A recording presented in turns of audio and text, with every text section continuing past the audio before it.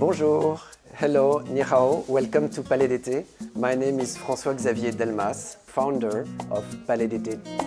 For the last 25 years, I've been visiting many tea countries to found, to source the best qualities. And uh, in Palais des Thés, we want to help you to discover tea and to make tea part of your life.